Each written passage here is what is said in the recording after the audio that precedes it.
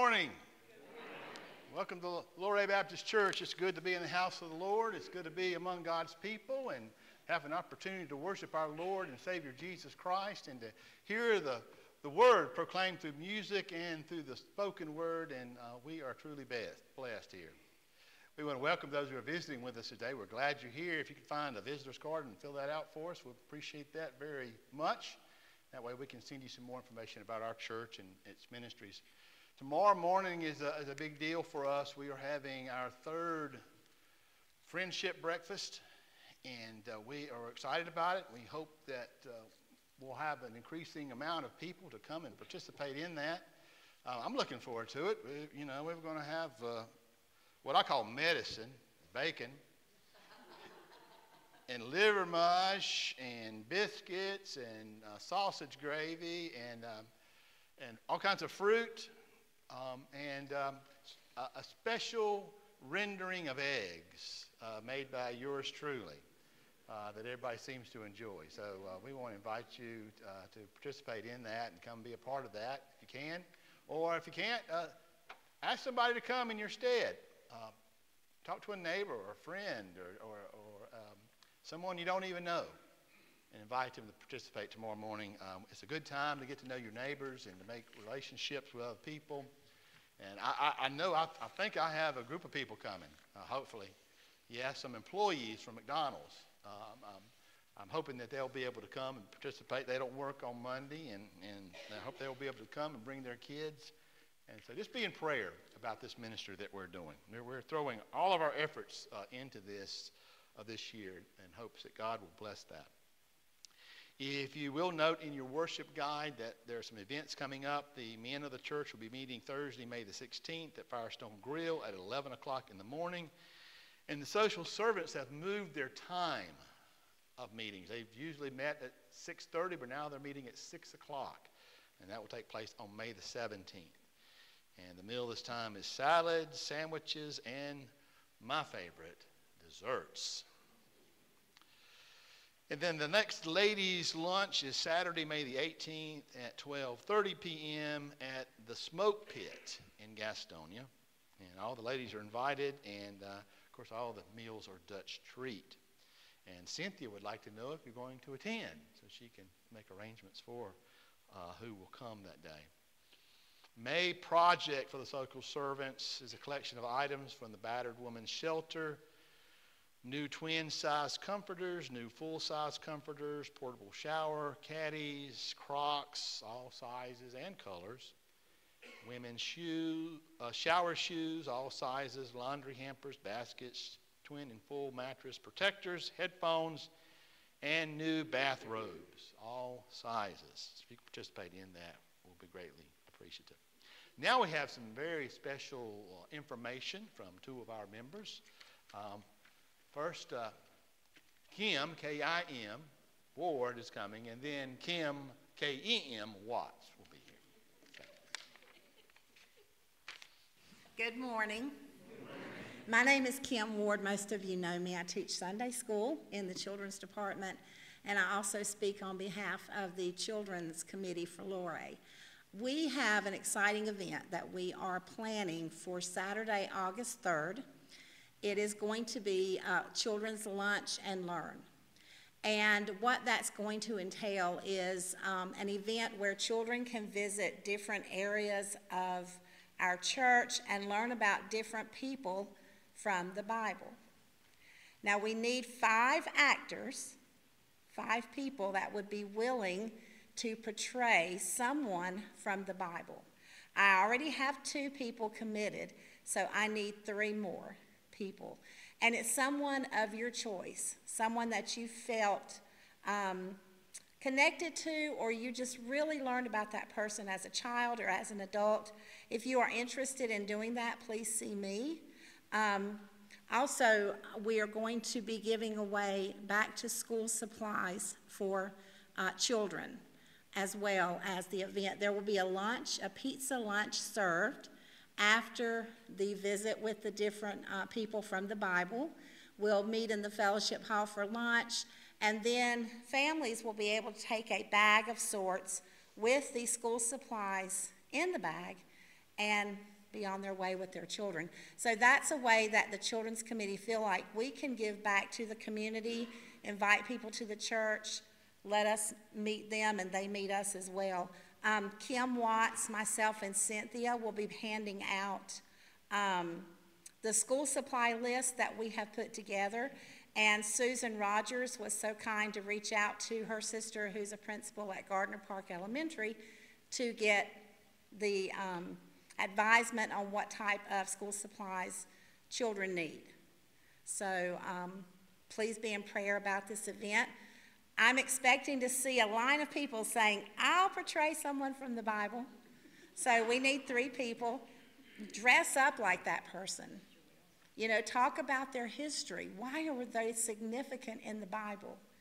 Give out props if you want to, um, for, or let children see props. So um, I thank you for this time and um, look forward to, to speaking with you. We always need volunteers during our events too, someone to be a greeter, someone to help with food service, um, any type of help you can get, just reach out to Cynthia, Kim, Susan, myself, Cindy Jones, um, Joey Horn from, yes, Grace Point, I'm sorry.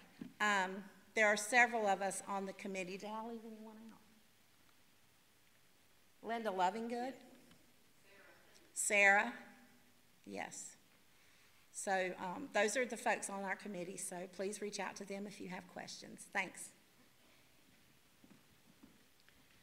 Ken asked me to speak about Sunday school in our discussion this morning. Some of you may know that um, we've been discussing being a welcoming church in our Sunday school time. And this morning, I think we had a productive uh, conversation and came up with some, some great ideas. And I, I really appreciate, first of all, those of you that participated in that. But we identified through the Welcoming Church study four areas that we looked at this morning um, where we can um, focus some of our efforts in the coming year, and that's safety and security um, for the church, the facility and parking lot needs, our greeting and welcome, and the website and publicity. So if you weren't in Sunday school but feel like you have some thoughts or some input that you would like to share in one of those four areas, please see me and, and just connect with me and let me know so that I can um, make a note of that. We will be using some of the information that we gathered today to plan our next cleanup day um, to kind of target specific areas that those of us that were there felt like needed to be um, targeted um, at this point.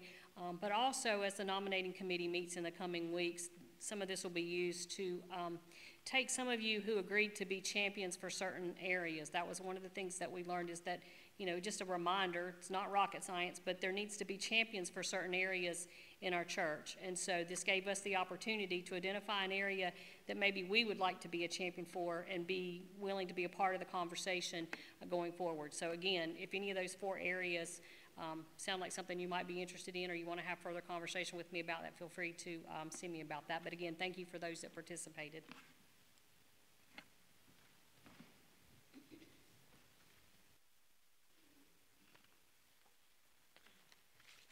Thank you, Kim and Kim. Join me in prayer as we seek God's Spirit among us this morning. Oh God, we have gathered in your house again. Lord, as we have gathered, we have thought of you and of your meaning for our lives. We as a church, Lord, have many challenges before us, but with your spirit and your power and your authority, those things can be overcome. Lord, we pray that you indeed power us on this day where we consider how your Holy Spirit works among us and in the world. Give us your courage and your strength and your abilities to do great things in your name that glorify you. Lord, come. In Jesus' name we pray. Amen. Our call to worship is found on page 686 of your hymnal.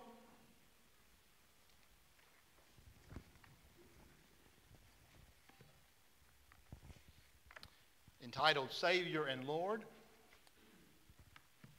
Join me as we read these scriptures together. Jesus, tired as he was from the journey, sat down by the well. When a Samaritan woman came to draw water, Jesus said to her, Will you give me a drink? The Samaritan woman said to him, You are a Jew, and I am a Samaritan woman. How can you ask me for a drink?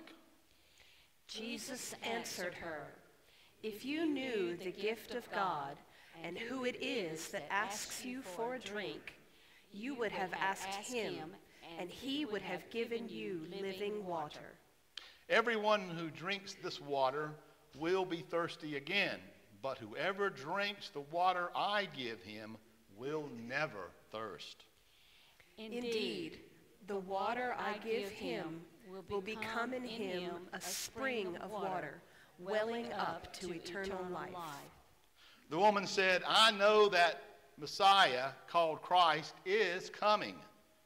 When he comes, he will explain everything to us.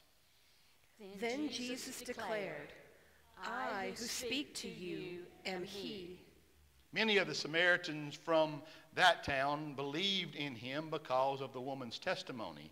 And because of his words, many more became believers. They said to the woman, We no longer believe just because of what you said. Now we have heard for ourselves, and we know that this man really is the Savior of the world.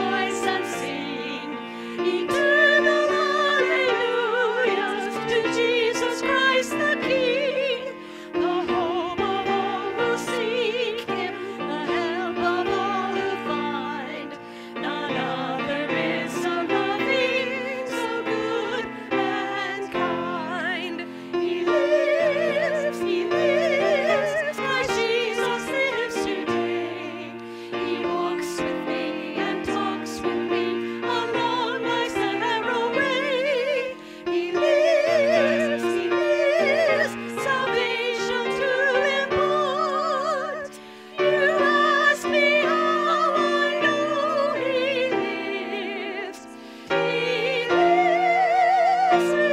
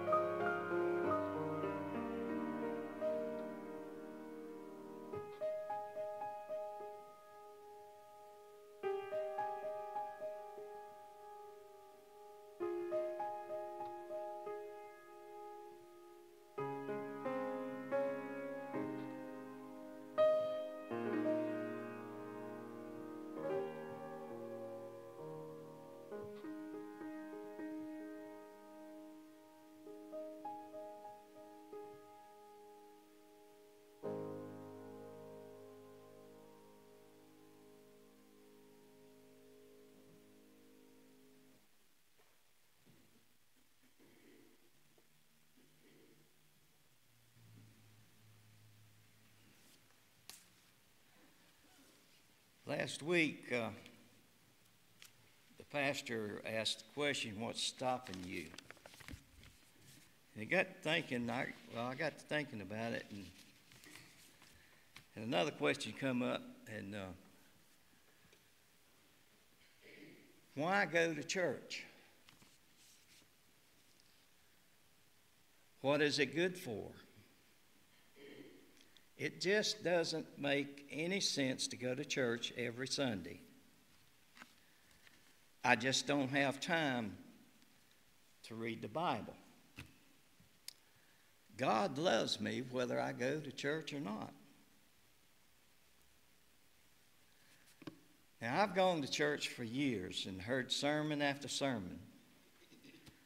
But for the life of me, I can't seem to remember most of them. I think I'm wasting my time, and the pastors are wasting their time by giving sermons at all. I think most of us has heard that argument before. Well, I've been married uh, 42 years. And in that time, my wife has cooked a lot of meals. And I've eaten every one of them. But you know, I can't recall the entire menu for most of those meals. I know they all nourished me and gave me strength to do my daily work. Well, likewise, if I had not gone to church for nourishment, I would be spiritually dead today. You see, God loves us. He sends us flowers every spring and a sunrise every morning. Whenever you want to talk, He'll listen. But you know something else? God can live anywhere in the universe He wants to, but He chooses to live in our hearts. I know sometimes we wonder when things go wrong did God have to let this happen to me? Well, we can't understand why He would let us go through such bad and difficult times. But we have to remember when you are down to nothing, God is up to something. When Satan is knocking at your door, simply say, Jesus, could you get that for me? So, why go to church? Well, we go to church to increase our spiritual nourishment and grow in our faith through fellowship with others. Faith sees the invisible, believes the incredible, and receives the impossible. Let us pray. Lord, we thank you for your, your words of wisdom. We ask that you apply it to we apply we apply it to our lives. Each Sunday when we come to church. And Lord, we do, we do miss the fellowship. And the words that you want us to hear that help us through our daily lives when we don't come to church. So, Lord, let's remove all the obstacles that keep us from coming to church and ask ourselves what's stopping us. As always, we thank you for your love, your mercy, and your grace. For it's in your precious Son's name we pray. Amen.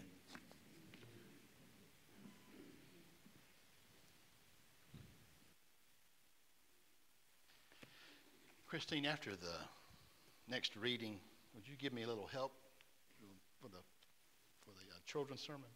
Okay, thank you. If you would turn uh, to page 1210 in your Pew Bible, this is the Pew Bible. We're going to be reading from 1 John chapter 5, verses 1 through 6.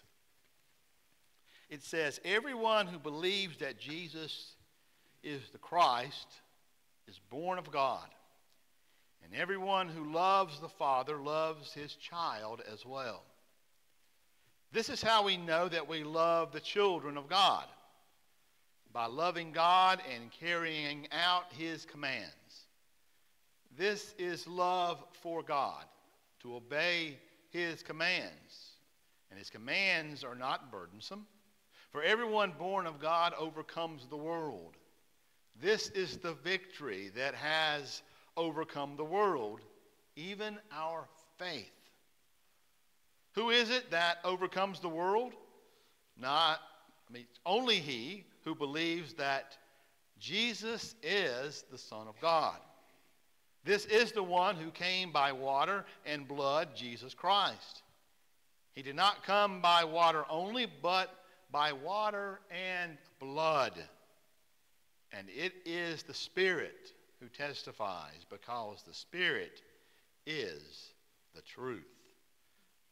These are Holy Scriptures. Thanks be to God. At this time, would, the children come forward?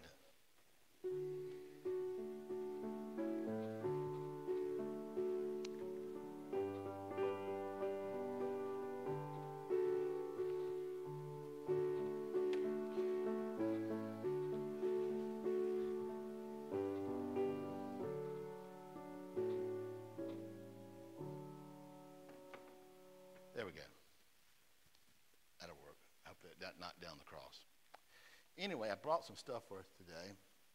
And we talked earlier, you said we're going to make crafts. Well, not, not kind. I need your help, though. Would you mind just standing over here? And, I, okay, I'm going to give you some sticky fingers here before we get started.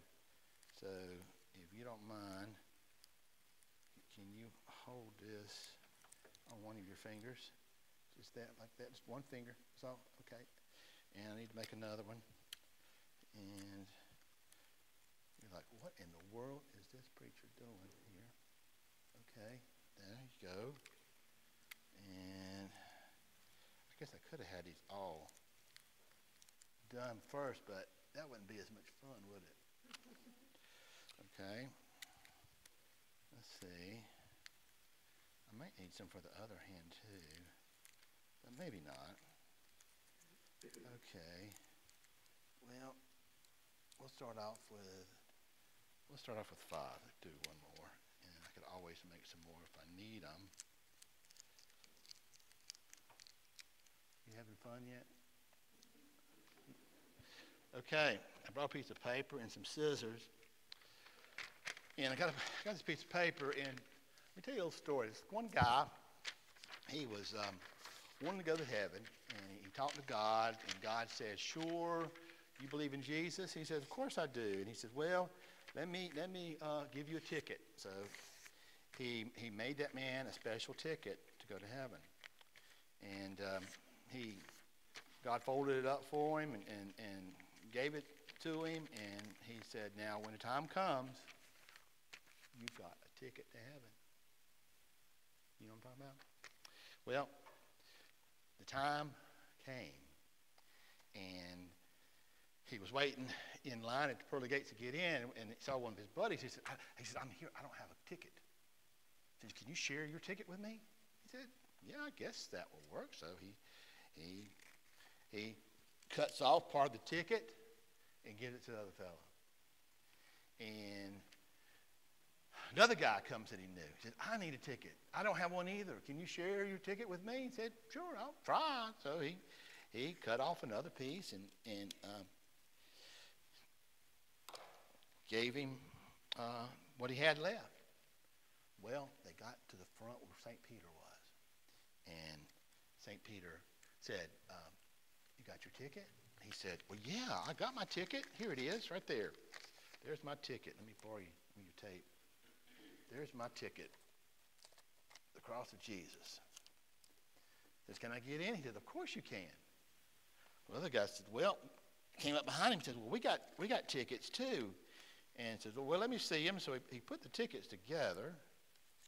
And he said, let me see if this is going to work for you guys. I, I'm not sure if it's going to work. Let me just see what, what it says. Well, he, he said, I, I'm, I'm just not sure what you got here, but let me try. We're going to need some more tape here. Uh, let me try and see what we got here in. Okay, one more piece. Okay, let's see. And, hmm, we're out of tape. Okay. Let's see what we got here. You want to pull me a piece of tape off? Can you do tape? Okay. Oops. Okay, here we go. I think this goes here. That I'm in the wrong place there. That goes there, I think. And then this one goes here. And this one goes here. And then this, okay, you got one. Oh, excellent. And there we go. I need another one too, yeah. And let's see, this one goes here.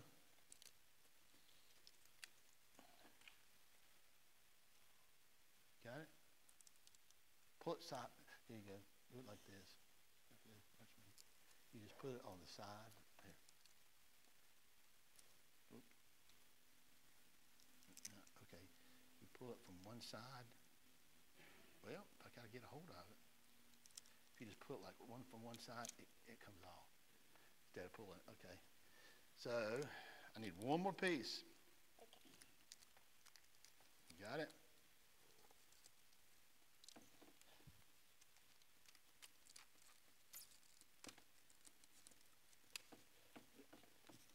That one's not sticking. Okay, well, we'll, we'll tear it in two because I need the other one didn't work too good.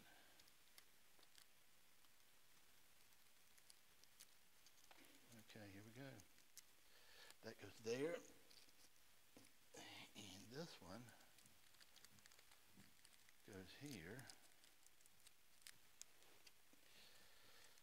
St. Peter looks down and he says, hmm, that ticket that you gave me, what's that say? Hell. That's not a ticket to heaven, is it? No. How do you get to heaven? it says um, Through the cross. through the cross of Jesus, through his sacrifice for us. That's the only way we can get there. So that's the ticket we need to have. We can't share it. We can't, we can't have a ticket from somebody else. Someone else can't do it for us. We got to make the decision for ourselves. Let's pray. Thank you, God, for sending Jesus into the world so that when we have faith in him, we can have eternal life. Amen. Amen. Thank you. Thanks for your help. Yes, Jesus loves me. Yes, Jesus loves me.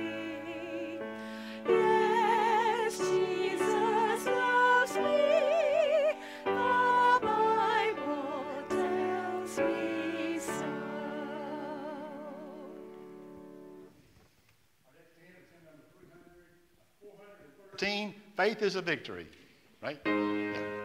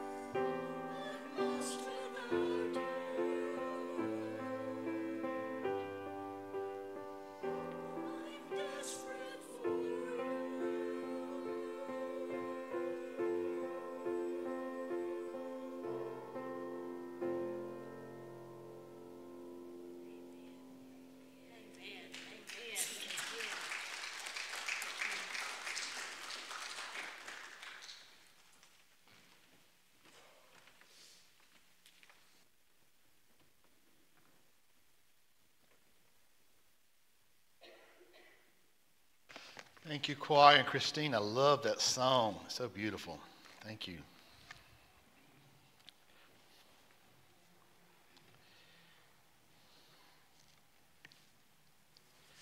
A little earlier, you may have noticed I um, had a, a flare of my dyslexia kick, kick in when I started off giving the song for Faith is a Victory. I was 300 and something, but we call those Kentisms around here.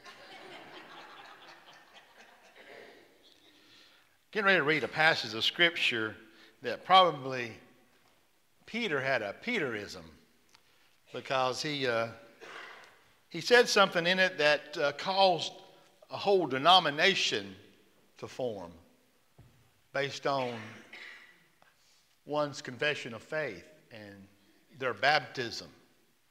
Normally, when we baptize, uh, you've noticed, and I've always seen it in the Baptist tradition, that we, we baptize in the name of the Father and the Son and the Holy Ghost or the Holy Spirit. Well, there's a denomination that does not believe that is the correct way to do it. They do it based on this particular scripture. You have to be baptized in the name of Jesus.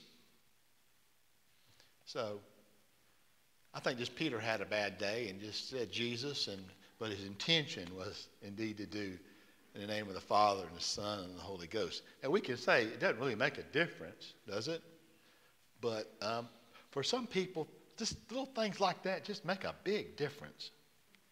Here are these scriptures. This is part of the 10th chapter where, where it's, it's a culmination of the Holy Spirit being at work in the lives of people that Peter and the other disciples were ministering to. Peter was uh, preaching. He said, while Peter was still speaking these words, the Holy Spirit came on all who heard the message. The circumcised believers who had come with him, Peter, were astonished that the gift of the Holy Spirit had been poured out even on Gentiles. For they heard them speaking in tongues and praising God. Then Peter said, Can anyone keep these people from being baptized with water? They have received the Holy Spirit just as we have. So he ordered that they be baptized in the name of Jesus Christ. Then they asked Peter to stay with them for a few days. May we pray. Oh God, as we are confronted with your word and the work of the Holy Spirit in this chapter of the Acts of the apostles or the Lord acts of your Holy Spirit at work in the world. We pray once again that through its proclamation, your Spirit be poured out upon this people. In Jesus' name, we pray. Amen. There was an English novelist back in the 19th century named William Thackeray. And he wrote a novel back in 1852, years, just a few years before the Civil War, entitled uh, The History of Henry Esmond. And in it, he writes this phrase um, Tis not the dying for a faith that's so hard. It is not the dying of a faith that is so hard, Master Henry. Every man of every nation has done that. Tis the living up to it that is difficult. Tis the living up to it, faith, that is difficult. Up in the mountains of North Carolina, in our state, uh, dearly beloved North State, there are two hamlets that are close together, only about five miles apart. One is named Trust, and the other is Luck. In a sense, every one of us lives between those two trust and luck. It is, uh, it's not really difficult to move between the two. It's just a short distance between faith or trust and luck. But that move can make all the difference in the world. Our story today begins with a Roman centurion named Cornelius. This Gentile, Cornelius, he is described by Luke with these qualities.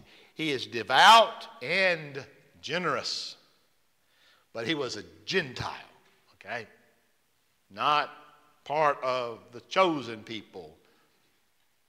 But Cornelius had this vision. He had a vision of an angel that came to him and said to him, Go and find Simon Peter and get him and bring him back here. And so once he had that vision, he told some of his men, sent four of them to go hunt Simon Peter down. And they went down to Joppa, where they found him and brought him back. Now, about the same time, Simon Peter was up on a roof. And uh, he was praying, and he had a vision too. And he saw this vision, it was like a sheet with these different kinds of animals on it some clean, some unclean, and they all were brought down upon the earth. Simon Peter interpreted that vision to mean that before God, all his creation was clean. It's only sin that has polluted it. The Old Testament says in Genesis that everything that God created was good. Simon came back and he came into this house of Cornelius, and there was a crowd of people in there, and he says to them, I've had this vision, and that all people, Gentiles, Jews, whoever, from all around the world, have equal access to God, can come to God through faith, through trust to Jesus Christ. And that was a miracle, folks. Now, we know from last week that a little miracle took place with Philip, who was sent down into the desert to meet the Ethiopian and to be brought back eventually. But in that meeting with the Ethiopian, he came, became a believer in Christ. He opened his eyes and heart to the scriptures and he became a believer. And we heard how that man went down into Egypt and started a whole branch of Christianity. Brought faith to a whole part of the world because of, of Philip's efforts with that one man, opening the scriptures to him that he was reading. Now, Peter, with this Roman centurion and those of his household and the people who had gathered there, was now sensing God moving in another powerful way among his creation. Through Christ, everyone has access to God.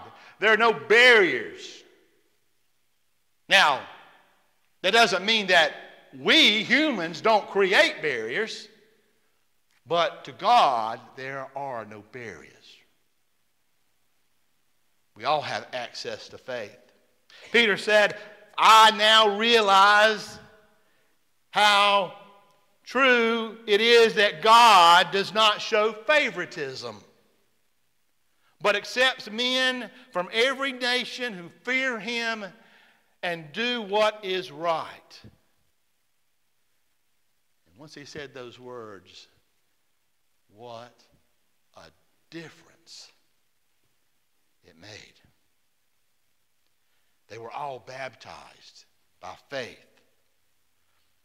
God doesn't show favoritism. Now, that's a radical statement even today, isn't it? We like to think we are God's favored people, nation on earth. In many ways, Indeed, God has blessed us with the ability to do things and to lead the world and to have resources that we can help people around the world. Sometimes the Spirit of God breaks into the world and nothing will ever be the same again. It's happened before, and it happens all the time down through history. Recently, I watched a movie that uh, first appeared um, in theaters back in that long ago year of, of 1967. I was eight years old. Let's just say I didn't go to that movie. But I, and you may be familiar with an offshoot of that movie that was entitled In the Heat of the Night. What's, what was the character's name that played the, the sheriff in that? Archie Bunker. What was who it was? Carroll O'Connor. He, he, play, he played that role. But, but in the movie, it was played by Rod Steiger. And he, actually, he won an Oscar for his performance in that movie. He was the sheriff. He was uh, named was Bill Gillespie. But the main character of, of the, the movie was played by Sidney Poitier. He was uh, a character that was a well dressed black man from the north who was a detective for the police department up there. And um, he was at a bus station waiting for a bus, but he was arrested believing that he had murdered someone that had died in town. And he was arrested and taken in, and he was um, awarded all the classic disgraceful indignities that people of his color received back in those days.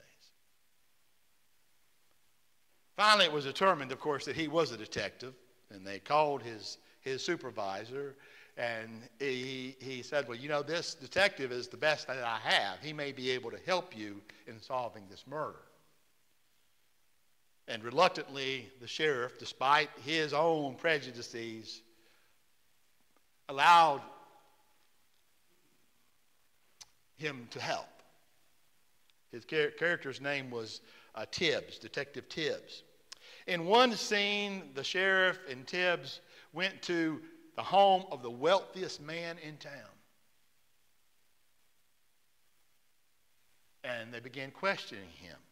But when the man finally realized that Tibbs suspected that he was the one responsible for the murder, he slaps him in the face. And immediately, Sidney Poitier slaps him back. Now, I was, I was reading up on this movie in uh, online, it said that the audience back in that day didn't react when the rich white man slapped Sidney Poitier in the face. But when Sidney Poitier was slapped, his character was slapped, the audience went, whoa! It, it, it, um, it shook them up. How could that happen? How could they put that on screen? Well, the man said to Sidney Poitier, he says, I could have you shot. And he looked, at, he looked at the sheriff and he said, What are you going to do about it? And the sheriff says, Well, I don't know what I'm going to do. I imagine there were a lot of people there when Peter made these proclamations. Even a lot of his fellow Christians who were Jewish, when he said these things and the vision that he had, they were thinking, now, what are we going to do? This, this makes us uncomfortable mixing with people that are not like us. Now, I'm going to I'm gonna go out a little bit on the, on the ledge, but I'm going to come quickly back. Today, there is a, a political divide and division over illegal immigration. Right? I think we all agree with that in our country. It's not just now, it's been going on for a long time. Well, folks, that is a political problem. A political problem that deserves a political answer. But this is the church of Jesus Christ. We have been asked by God, by the Holy Spirit, to reach out to all people, whether they got papers or not, whether they speak our language or not, whether they look like us or not. That's not our role. As a church of Jesus Christ, we have been called to reach out and embrace everyone from every nation. And if we have been lucky enough that people from around the world come here, then how lucky, how wonderful it is that the Holy Spirit might work through us to reach these people for Christ.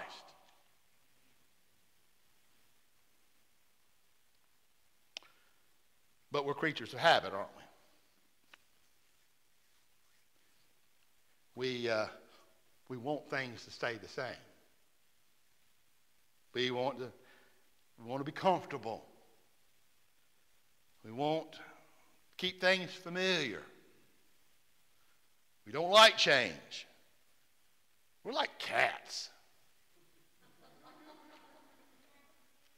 My cat is aggravating. If I don't get up at 4:30 and feed him, he comes and bites me. And if I don't move, at, at first it's just a little bite, but if I don't get up and feed him, he jumps on me and bites me. I have to get the pillow and swap at him. Maybe that's what we need in church some pillows, a good pillow fight sometimes.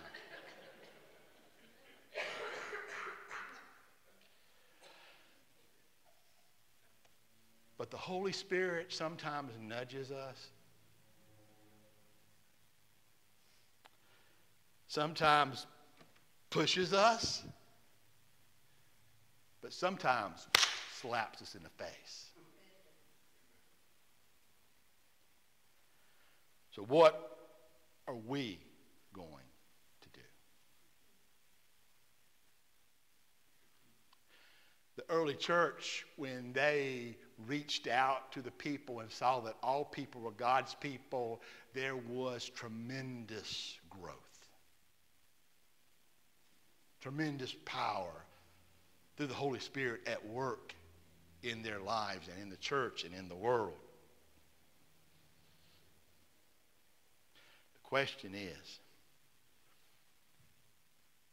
are we going to be as inclusive as the gospel is? Are we going to believe in the Word? Or are we going to believe in the world? So, how does the kingdom work? The kingdom works like this. There was a young man named Ben. He was in this little small church. His father was in prison. He was dealing with all kinds of issues, and he had all kinds of issues. And the little church that he was going to didn't really have a ministry to, youth, and so they asked a sister church in the community to take him in and take him on a camping trip they were going on. And the leaders, uh, Bob and Marjorie, uh, agreed to do it reluctantly, but they were warned that he had some troubles and some issues in his life. And they took him in, and he immediately resisted any kind of um, authority figure in their life. But they were just gracious and kind and loving and continued to reach out to him. And somehow, during that camping trip, they were able to, to get through it and get along. But they never saw Ben again until 20 years later. They ended up taking another group to that camp, and there was a grown up Ben working on some of the buildings at the camp. So they went up and talked to him, and they discovered that he was married now with children, that he had become a, um, a, a, a, a uh, computer analyst for the county, that he was active in his church, and now he was volunteering at this camp. He says, You know, when you took me to this camp, I had never experienced love like you gave me. You changed my life just by accepting me how I was.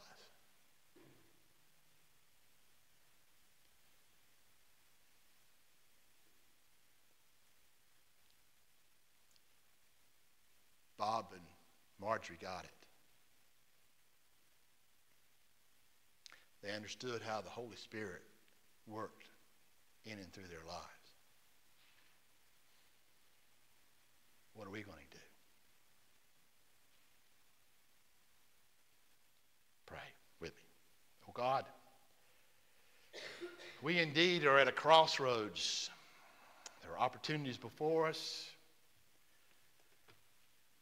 There are people, even on Sunday mornings, sleeping on our porches who need your love and your grace. Pour your spirit out on your people here